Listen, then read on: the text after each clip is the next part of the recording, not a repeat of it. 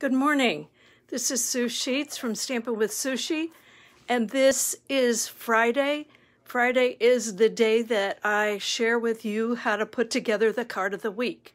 Now, I do have to apologize to everyone because somehow my Tuesday video, which had the instructions on how to cut everything for putting it together today, somehow it did not make it to um, my Stampin' with Sushi site. I'm assuming that I pushed the wrong button, but I will, um, I did send out um, a little note about a half hour ago of the instructions that you would need. And then uh, what I'll do now is go over the instructions before I start to show you how to um, put the card together. So let me switch my camera. All right, so I have these all numbered, so I won't forget. Uh, number one, you're going to need a piece of a sheet of cardstock, Hi Donna, um, 8.5 by 11, or this is what I'm going to show tonight, a piece of designer paper that's also 8.5 by 11. So you can choose which either one you want. Um, then number two is you'll need two pieces of a neutral color that are 3.5 times 5 inches. Now, for the card I'm going to show you this morning, I've got one white and then I put took one from the paper pumpkin kit. And you could do that with your designer paper if you wished. Um, or you could get your two white and then trim the one of them down so it fits on top of the white. Anyway, this is for um, number two. Then number three, you need some kind of a coordinating color with your background and it should be two by four and a quarter. Now, once again, I've cut a, apart one of the paper pumpkin kits for mine. And then the second thing you need is a different coordinating color um, that's cut 2 by 5.5. Now let me show you what I'm going to use tonight, and that'll give you an idea. So um, this is my card base, and these are my two colors. So they coordinate with the card base. So that's kind of what you need. And then I'm using white, two whites for the rest of it. Okay, that was four. So then five, you're going to need some kind of ribbon. Um, and I absolutely love this ribbon, and I thought it went pretty well with my um, designer paper. But we're going to turn these into bookmarks and tags, and so we need a ribbon on the top. And then number six is to have sayings and embellishments. So I've got my sayings printed already, and then I've grouped them so I don't forget where they go. Um, and then embellishments, um, I'm using these little um, fireflies from the July 2020 paper pumpkin kit, and possibly these stars from that same kit, or these sequins from the July 2021 kit. So I've just got a variety there so that when I get it assembled, I can choose one of them.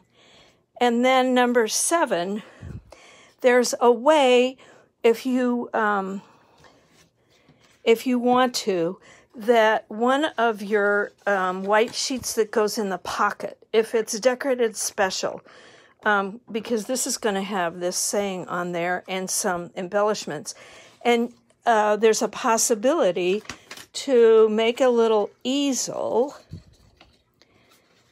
Uh, just kind of squish it together to show you what I mean. That you can put on the back of this, and then somebody could actually place it on a shelf, um, you know, as something that they could look at. So if you want to make, if you like the idea of making an easel, then you're going to need a piece of the same neutral color 11 by 3. And then you're going to score it at 4 and a quarter, 8 and a half, 9 and a quarter, 10 and a quarter. And you'll end up with I think that's supposed to be half. Oh yes, this is the one that um, yeah, on my video that you didn't get to see. I put a comma in there, and my comma doesn't look like a comma, so it's eight and a half, nine and a half, ten and a half, and a half, and a half, and you'll end up with a little half inch strip um, left over, and that's kind of how you hook your easel together. Okay. I know that was fast, and I know that some of you aren't ready. So, if you are really interested in doing this, then watch the video, then gather your supplies. And the nice thing about rewatching the video is that um, you can pause it if you need to to get measurements down, or you can rewatch it multiple times. Um, I do that with some of the videos that I watch. So I'm going to just go ahead and show you the, um, what we need to do.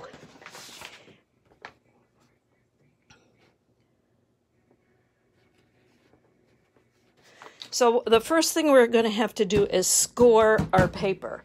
So let me go get my paper cutter. And we're going to score it in half both directions. Now my um, cutting blade is at the top and my scoring blade is at the bottom. So I always make sure my cutting blade is at the top. So first I'm going to score it at four and a quarter. And I like to rub it back and forth a couple of times. And then I'm going to flip it and score it at five and a half. And um, the rest of my cutting I'm going to do with scissors. You could use your paper cutter if you wanted. All right, so now lay it down and think of this as quadrant one, two, three, four. So we're going to start with number one, and we're going to measure two and three fourths from this corner this direction and two and three fourths from this corner this direction and make a little mark. So I've got my ruler here. I got the idea for this project from my upline, Robin Armbrecht, and she has a site called Really Robin Stamps. And on Friday afternoons at one o'clock, she does um, um, a video um, with wonderful, wonderful projects. So I would suggest if you like watching videos, and I don't always see it at one, but I make sure that I see it each week. So I've made my mark at two and three quarters, and my mark down here at two and three quarters, and now I have connected them. So now what you're going to do is down at the bottom right corner, you're going to make a measurement at four and a quarter so make my little mark at four and a quarter. Go over here, make my mark. Oh, that's the fold. So now what you're going to do is make a line from your mark at four and a quarter to your fold, your score line, like that. And then these, uh, these are going to be cut off.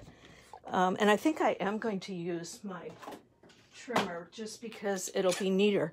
And this is um, the little mini trimmer that if you join Stampin' Up, I don't know, a couple of seasons ago, well, then you got one of these for free. So never mind. I think I'll just use my scissors because I'm not that bad with cutting. Um, so you're going to just cut from your fold on this line all the way to the end. And then turn it around and cut on this line.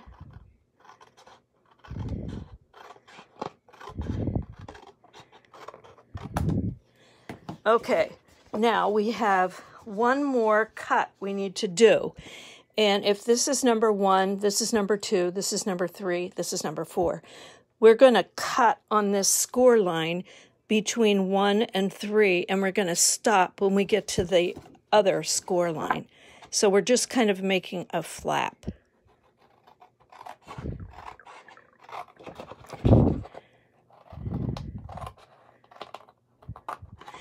And these two um, are going to be folded in. And so it's nice to make a little sliver on each side that kind of takes the rest of your score line off. And it's going to make the fold line be a lot more um, precise. So I'm going to do this one too. My hands are shaky this morning. It's hard to do when your hands are shaking but you see it's just a tiny little sliver and I'm kind of angling it so that when I get well I might I don't know if I can do it this way or not. Oh turn it over Sue. Okay so I'm angling it so that when I get to the center I'm just kind of equal right there there. Okay, so this is basically our card. Now these two are left over and we can do something with those later. Um, so let me just show you how this goes together. You're going to fold on all your fold lines. Let me see, I'm going to fold this direction. Um, and then this is going to go this direction. Nope. This is going to go back. This is going to go. All right, let me try that again. All right, so you're going to start up at the top and you're going to fold number one onto number two. And then take your bone folder and get a really good crease um, right here. Then you're going to take your um, three and put it on top of your two. And then you're going to take your four and put it on the back. So now it is a card. This is the front of the card with two pockets, and this is the inside and the back. So now we have to do a little bit of gluing. Um, the first thing we're going to do is we're going to put a little bit of glue right, right here. Um, from the edge of the cut to the fold. We don't want to put any glue here because then it eliminates the pocket. So I'm going to put a little, hi Sandy, I'm going to put a little line of glue right there and bring this up and press it. And it's always best to press from the back. Okay, and now um, this is also going to be a pocket. I should have done that first. I'm going to pull this off. So you want to put a little bit of glue right here.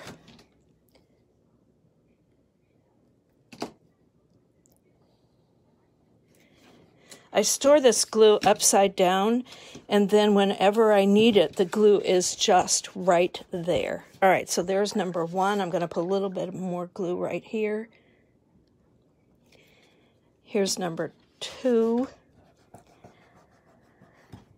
And then the last thing we're going to glue is right here so that we're uh, taking this back flap and joining it to the front flap. So right here.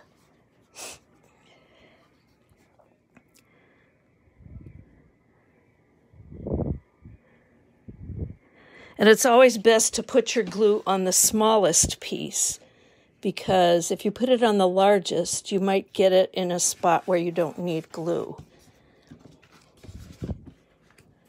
Okay, so this is what the basic card looks like um, when you've done it in cardstock. Let me move this over a little bit and get my bone folder in here. Get that crease sharp.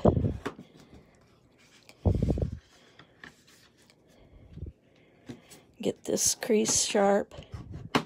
This is what it looks like if you do it in designer paper. Um, and one reason I like to do it in designer paper is this is a way you can show off both sides of your paper. So uh, this is the top corner, which then shows off the inside. And then here are my two pockets. And then when I open the card, in the inside, I can see both sides of my designer paper. But for this example, I needed a plain color. All right, so um, I've actually got my card made, and now what I want to do is get my um, book,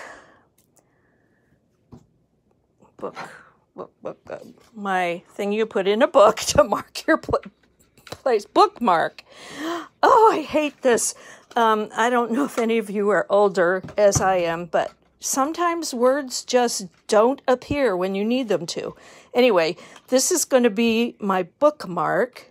And so I have this punch, which um, punches up the top of your paper. It's called the Delightful Tag Punch.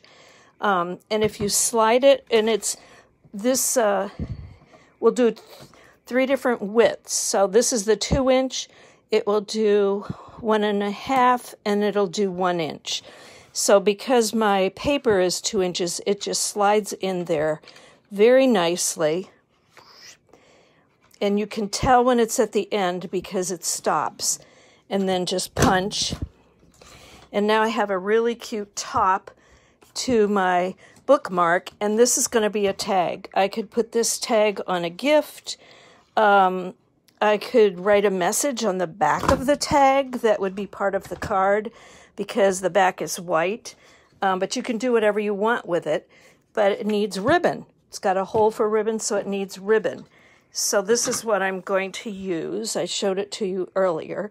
And I always start when I put ribbon in something with an angled cut because then no matter what size your hole, it's going to go in there easily. So I'm going to stick it in here,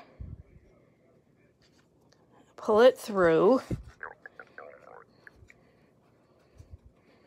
and cut off the other end. I always wait to make sure that I have the length I want before I cut my ribbon.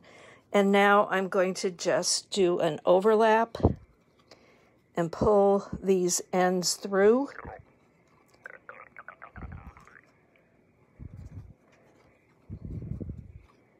Where's the other one?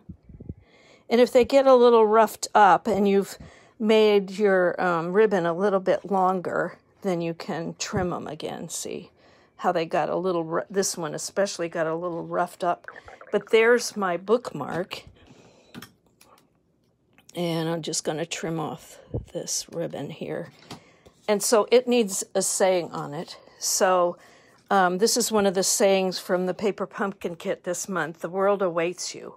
Um, and I thought that would be a fun bookmark a saying to have on your bookmark. So um, I'm going to put some glue on the back. This glue is great because it's repositionable and also um, it spreads. So you really don't need much. And then I'm going to turn this over and rub really hard to get it to stay. Okay, so now this is going to go right here in the pocket. And I might put some more embellishments on in a minute, but I just want to get these started.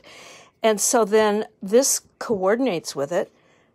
The world awaits you, let the adventure begin. So this is the one I'm putting on my tag.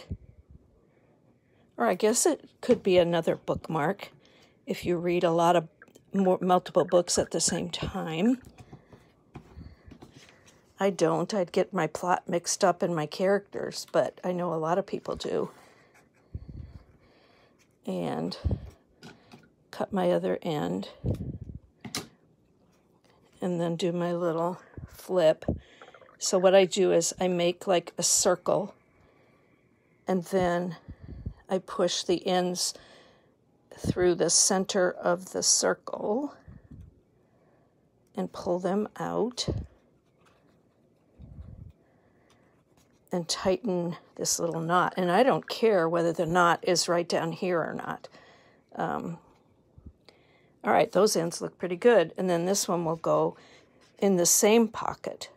All right, so I've got my two bookmarks in here. Now this front looks really, really plain, doesn't it? not not very attractive. So one of the first things I'm going to do is use my Versamark pad. Now the Versamark is an ink that's clear, but when you stamp it on something, it makes a darker image.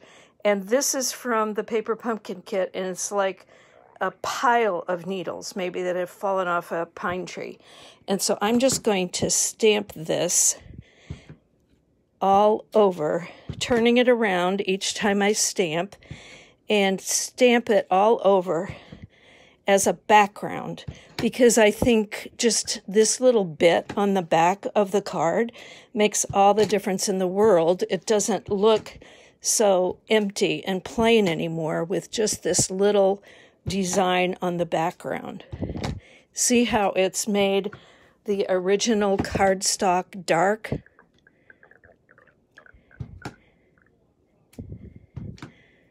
There. Okay, so that's not enough though, I don't think.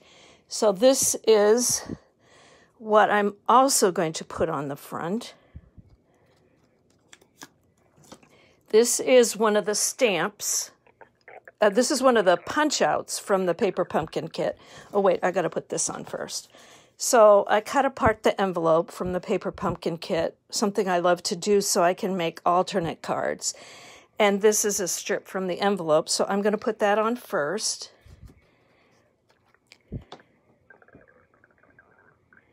And when I put it on, I want to make sure that I don't go any further than right there because I want it to not interfere with any of the pockets or anything. So I'm going to put it right here. So now I've added a bit of color and that's crooked. And so when you use this glue, if you don't get it right the first time, it takes a while for it to dry permanently, and so you can move things around easily. Um, and then I'm going to put my saying Dream big, aim high. I think I'm going to just center it. Let's pop it up. That's always fun. So I'm going to put three on there, one on each end and one in the middle, so that when I put it on the card, the middle doesn't sag.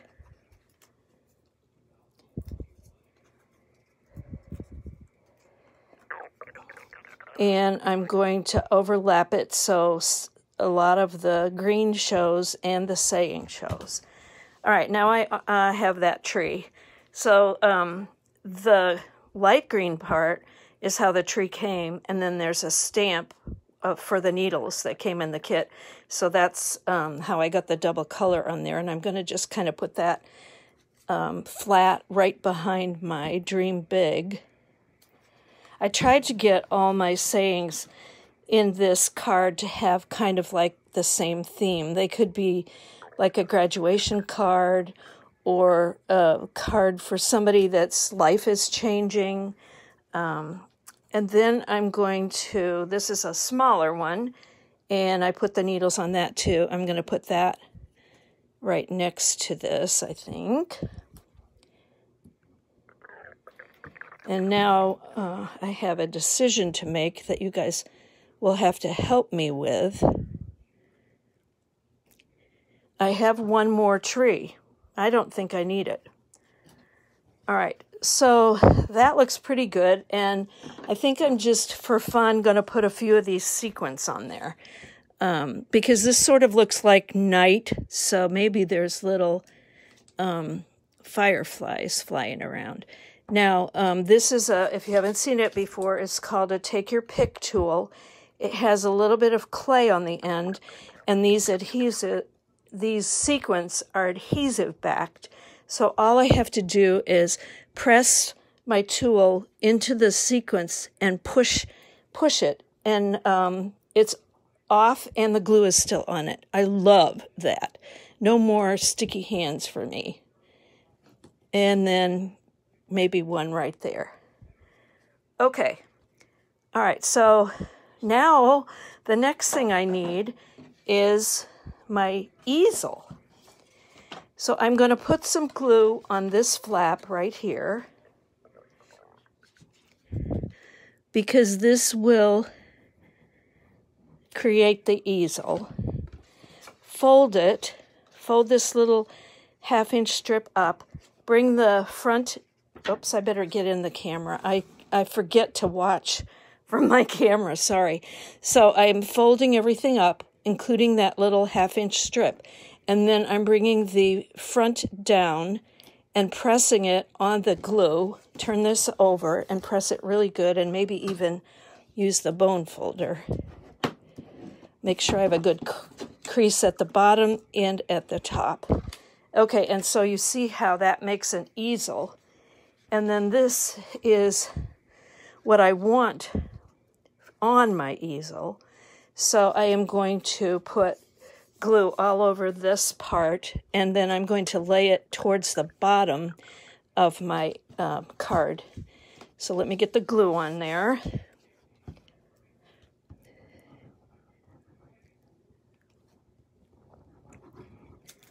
Okay, see, you don't need an awful lot.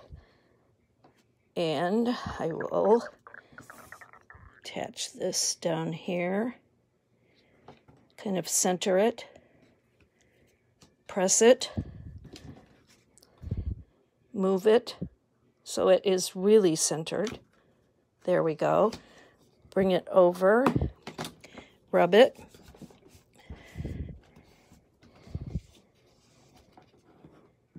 Okay, and this is going to go right in here.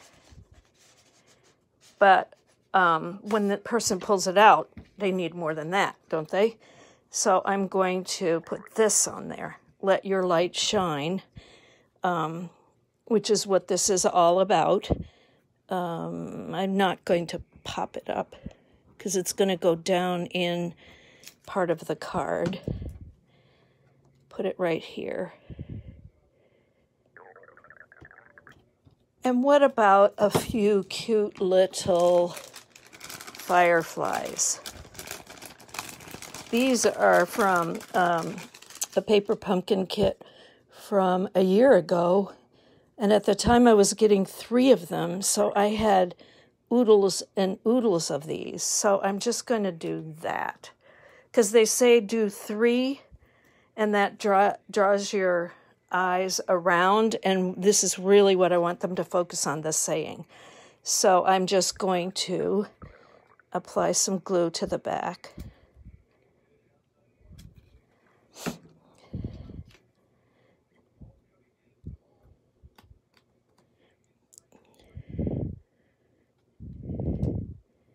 One.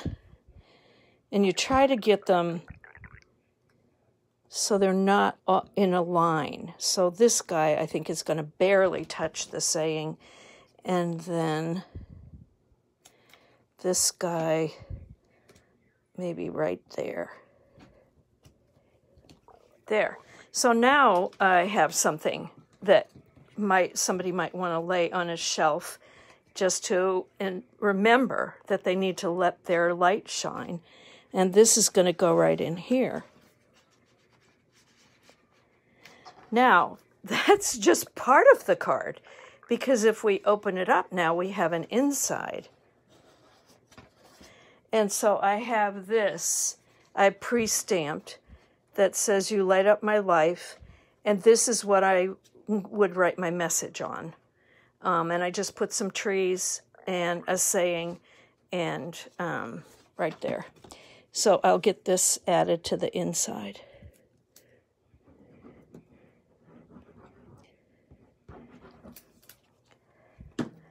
Hi, Peggy Davidsmeyer.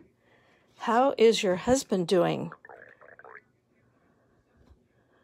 And you're not going to believe this, but I have emailed you and texted you and whatever, and I have a package here for you from several years ago. But anytime you're in, near uh, my area of town, come by and it's all ready for you.